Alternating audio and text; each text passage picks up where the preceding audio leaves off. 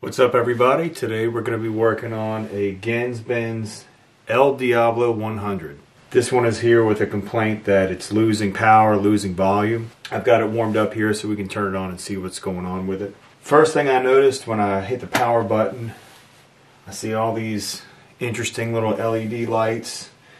And in the back there, there are only two power tubes and there should be four. More than likely there's something going on there. So interestingly enough, this does have a 50 and 100 watt switch on the back. So I went and downloaded the manual real quick to check it out and see if there is a reason why two tubes were pulled. The manual does state that the 50 watt switch disconnects two of the power tubes. Doesn't say which two. It also doesn't state that you need to change the impedance that you're using for the output if you're going to lose two tubes. So I did put the switch in 50 watt mode. That's how it was when it arrived.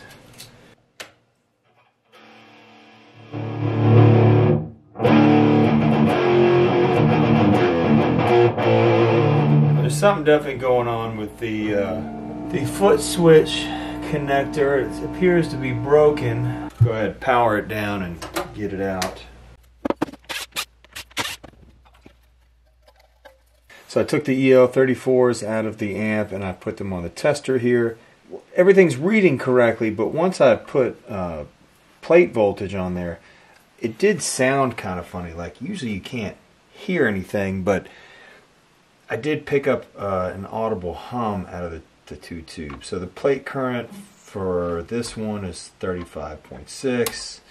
The other one's 37.4 Transconductance looks good for both. I'm reading 5.12, 5.41. A little bit off from each other, but not too bad. So the tubes really should be okay. At least they're testing okay. That doesn't necessarily mean they're going to function correctly in the amplifier. So taking an actual look inside here, notice a lot of interesting stuff going on. You can see that this is wet. It doesn't smell like anything. You can also see from here that this has gotten wet at some point in time. This is probably beer or something. First, let's address this problem with the switch here. Not sure how this broke. Might be able to fix that with some glue. A quick fix on that, since we didn't have a replacement jack, there's nothing wrong with the jack itself, it's just coming loose from the sleeve. So I just took a soldering iron and just kind of melted it a little bit right around the edge here. So it doesn't look all that pretty, but it's not moving anymore. Between that and the glue at the very, very end, it's holding. It shouldn't pop out, and none of the solder connections have been affected whatsoever. Yeah, I'm pushing on it, and it's it's not moving at all. So let's go ahead and remount this jack. If I can get this out the door with just the parts I have on hand, then great. Customer's happy, I'm happy.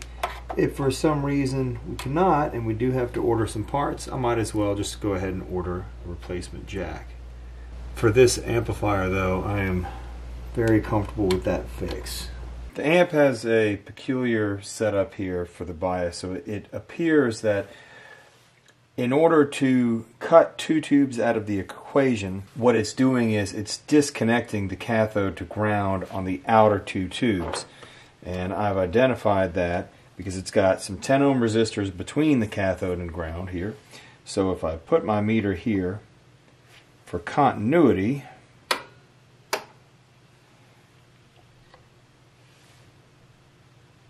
I've got like 90 ohms to ground when I should have zero. So if I flip that switch to put it in 50 watt mode, now I've got a completely open circuit. So the top of this terminal, we've got less than one ohm to ground, which is good. The bottom terminal of that circuit, I've got like 100 ohms. So I'm getting resistance through this switch. So let's set this back to DC volts.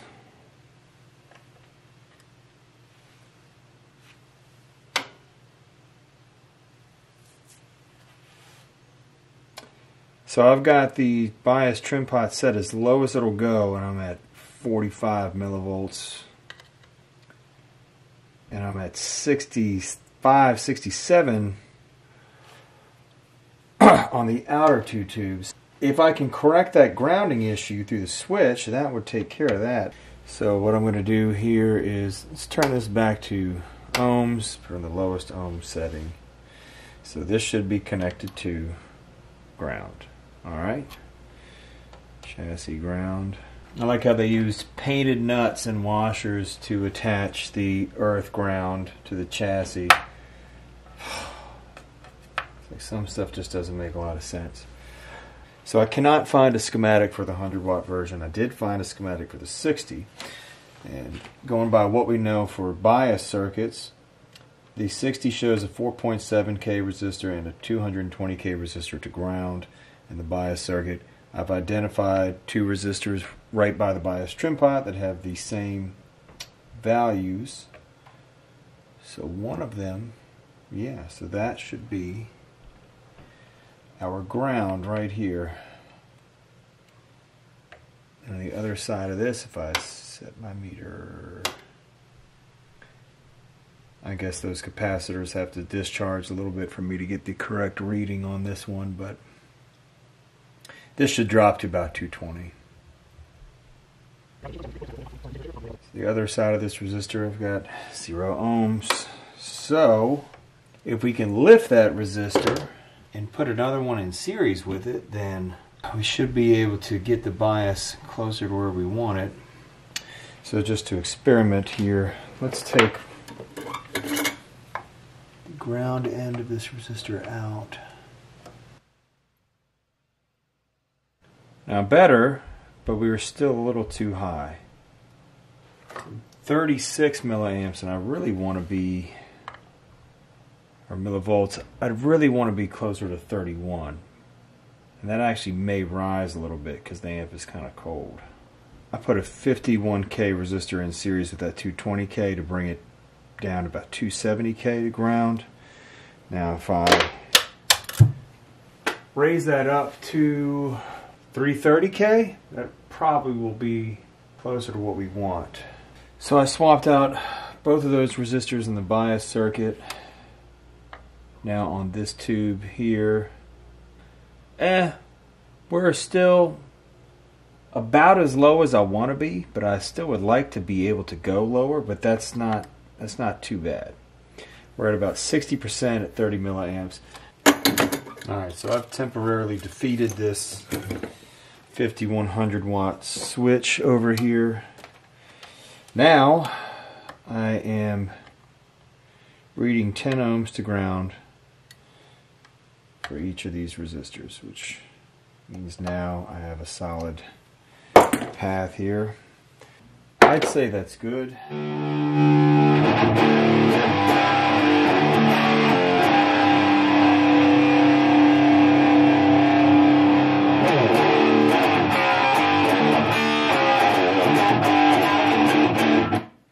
Bias seems fairly stable for where we're at. We are still the lowest the trim pot can possibly go. So maybe we'll trade out that one of those resistors one more time. So we've got a whole host of things going on with this. So the continuity on that switch is not very good. So I've got a similar switch. This is a rocker that would go in a Marshall standby. And when I close this switch, I've got zero ohms here, which is what you want. So that's the switch that was in there. And the continuity on these contacts. See, I've got like, it's fluctuating. 30 ohms there. So the contacts within the switch are dirty. A Marshall style switch will not fit I don't know that that's a feature that's even worth keeping. to be honest. So the reverb is not working, and uh, that's more than likely the reverb tank. Vintage clean switch on the foot switch does not work. So having trouble with the foot switch, I didn't know if it's something in the cable itself because they give you this crazy long cable here. And of course, it is a proprietary connection or it's a five pin DIN, so I'd have to replace this whole cable to check. But if I take, I've got a probe connected to ground and I can, the orange wire is controlling the classic high gain setting. This red wire here controls the compression. There's a brown wire underneath. That's the attack. My yellow wire is my vintage clean switch. Oh, the green wire must be the ground then. So I've got one, two, three, four. Okay, there we go. So to figure this out, I've disconnected the red wire and every time I would plug the foot switch in, uh, the clean and vintage clean switch on the clean channel would always be illuminated no matter what. And when I tested the end of the plug for continuity, I was constantly getting continuity between this and the shield, which is supposed to be the ground. So I've got the back side of this switch tied into the corresponding pin on this jack here. So essentially I'm just bypassing the cable. And I've got the end of this lead tied to the other side of the switch, which would be grounding out this circuit. And when I touch it to ground, then everything illuminates. So that just tells me that there's nothing wrong with the amplifier on that end, that we just have a shorted wire in this cable here. Now we could just replace the cable on this to make it work, but we would have to get a 6 pin DIN cable here. I could also make this work if I had a 7 pin MIDI cable, but then I would have to change the end here. So we might be making things a little bit more complicated than they need to be. I mean, all in all, just buy another switch. But it would be nice if this was replaced with something that was a little bit more readily available honestly, I think a better design for stuff like this would be to have a plug on both ends so you could replace the cable if the cable's ever damaged. In this case, if the cable's damaged, you have to replace the whole foot switch. Alright, so the bias circuit's been modified. The tubes are a little bit colder. Now we figured everything else out. Kind of curious about the reverb. The tank looks like it's in decent shape there were a couple stray wires here on this transducer. I don't know if that's, uh, I don't know what you call that when there's a strange metallic growth. But there are no broken wires on the transducer, and there's no broken wires on the jacks. So this appears that it would be working. So I've got the reverb turned all the way up. And there's, obviously there's no reverb here. But I can hit the springs and I'm getting some sound. So we know the tank is working. Okay, so we got the reverb working again.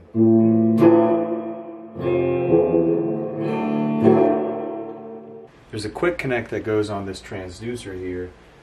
I don't know where it was not making contact, but I cut that out. I put in a couple alligator clips to jump it, and now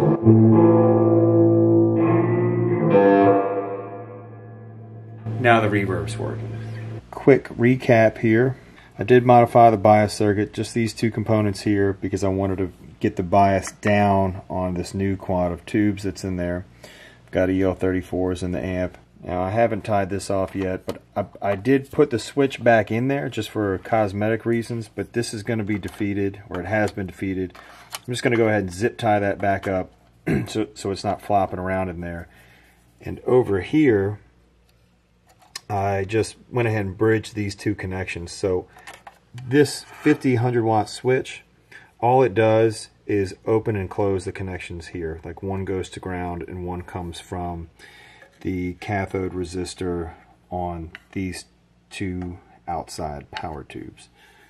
And the issue with this was that there is too much resistance between these two contacts. I couldn't get a Marshall style switch to fit and sourcing one of these proved pretty difficult. I looked for a little while and was not able to find this exact rocker switch. I didn't take any measurements of it, but a couple of these parts were hard to find, especially this six pin DIN connector. I did find a distributor that had a couple of these.